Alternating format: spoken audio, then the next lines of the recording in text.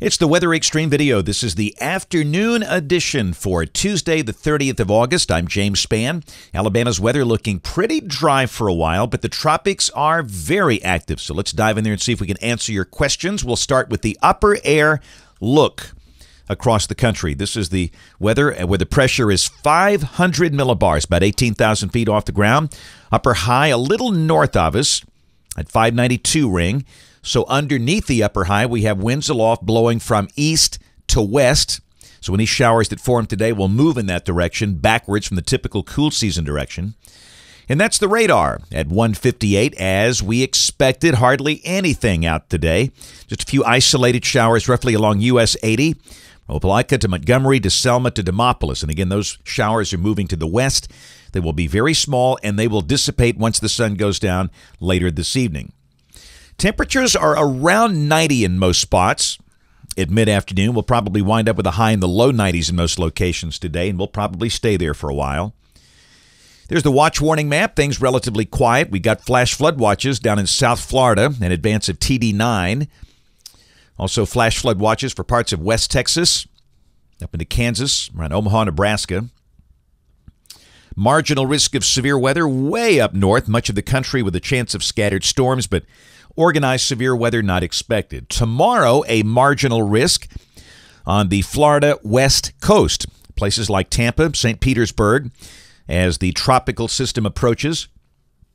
And on day three, which is Thursday, a marginal risk for parts of North Florida, including uh, places like Jacksonville and Cross City, Perry, Florida, uh, and again, that's with the uh, tropical system coming through. And of course, the big issue is going to be the rain. Uh, whopper rain totals possible over parts of Florida. And again, mainly the peninsula, not the panhandle. is going to be a very sharp gradient around Panama City Beach.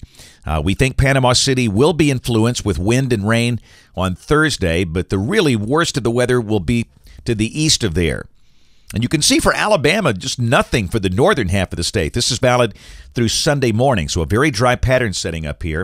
And the chance of rain not exactly zero uh, tomorrow and Thursday, but after that, things do look pretty dry for the Labor Day weekend. It's a tropical smorgasbord. Tropical depressions 8 and 9. Get a funny feeling TD9 might be Tropical Storm Hermine by the time you watch this. We have Hurricane Gaston in the Atlantic moving out to sea, and that wave coming off the coast of Africa. Uh, that wave is going to be moving steadily to the west across the open Atlantic. There's a chance it could develop in coming days. Look at the models on this, and you can see the BAM set wants to move it north of the Caribbean, north of Puerto Rico, north of Hispaniola. And if indeed that's the case, will it recurve or maybe threaten the east coast of the United States? Nobody knows at this point intensity guidance on that. By the way, that wave out there is 92L. Steady uh, increase in intensity expected, maybe reaching uh, Category 1 hurricane status in about four or five days. It gets a long way out there and just something to watch. Gaston looking pretty good. Top winds 105 miles per hour based on satellite estimates in the middle of the Atlantic. And again, that's far from land. It will be uh, weakening as it moves over the Azores over the Labor Day weekend, but certainly no threat to the United States. Tropical depression number eight. Very disorganized off the coast of North Carolina, off the Outer Banks. That's kind of kissing the Outer Banks. That'll be moving out to sea in coming days. That'll be long gone by the Labor Day weekend. Got a Labor Day trip planned for the Outer Banks. Weather should be just fine course, the one closest to home is this one. This is tropical depression number nine, and again, based on the increase in convection and the shear that seems to be weakening, this could very well be tropical storm Hermine by the time you watch this. Here's the uh, track from the National Hurricane Center. No major changes. They've got this thing coming up through Apalachee Bay, the Big Bend region of Florida uh, down below Tallahassee, and then back out into the Atlantic. And again, we stress this will be long gone by Labor Day. If you got a trip down to the Gulf Coast or even Tampa Bay, Clearwater, uh, you know, Daytona Beach, it'll be fine by then. But we checked the European. Uh, it has shifted a little to the left on the 12Z run. The, the GFS has as well. This is Thursday evening at 7 o'clock, and it's got it coming in a little uh, east of Apalachicola. Still, that leaves Panama City on the dry side, but it's close enough to bring some, uh, obviously, some wind and rain to Panama City. But that's the one day is Thursday when that's going to be an issue. And understand rough surf and riptides, that'll be a problem all the way over to Dauphin Island uh, with this thing tomorrow and Thursday. But again, we stress this will be long gone by the weekend and the surf will settle down by then. Here's the intensity guidance on TD9. Almost all the models, all of them do, bring it up to a tropical storm. Got a few outliers bring it up to a hurricane. I'd say that's pretty unlikely.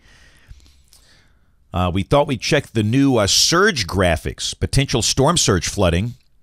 And remember that the surge is going to be along into the right of the landfall center.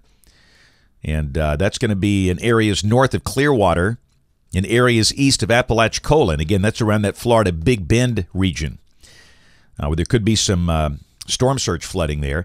This is the expected rain through 72 hours as a direct result of TD9. And you can see potential there for uh, five, maybe 10 inches on the high end for parts of Florida.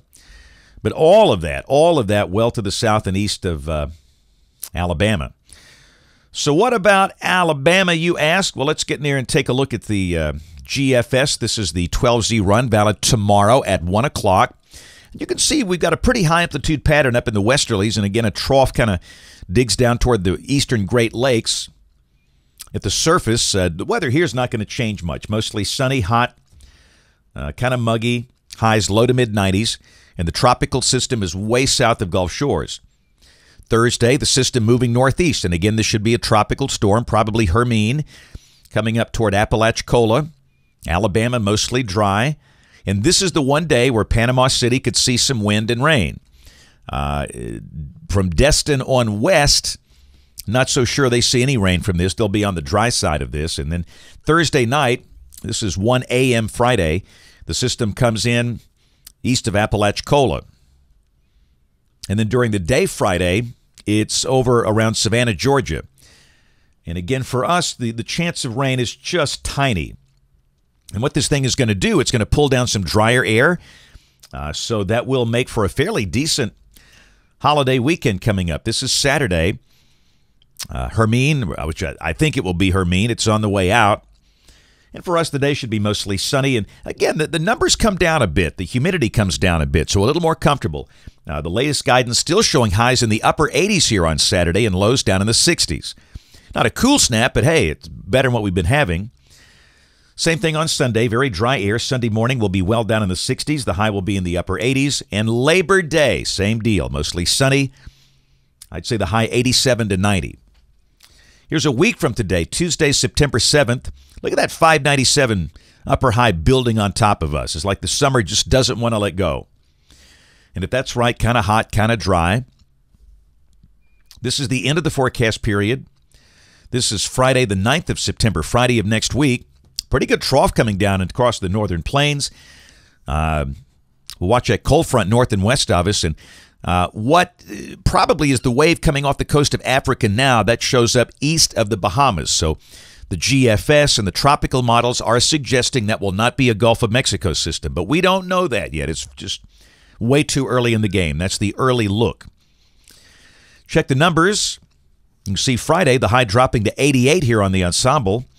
Low down to 66 on Saturday morning. Then it's got low 90s for the holiday weekend. And we kind of stay in the 90s on through mid September. We'll get that first good cool snap in here, but we have to have patience. We are down here in the deep south. That's it for the Weather Xtreme video today. We'll have notes in the blog. Next video here by 7 o'clock tomorrow morning. If you can't catch us this evening on the live stream or the television side, ABC 3340 News at 4, 5, 6, and 10 o'clock. Thanks for watching. Have a great evening and God bless.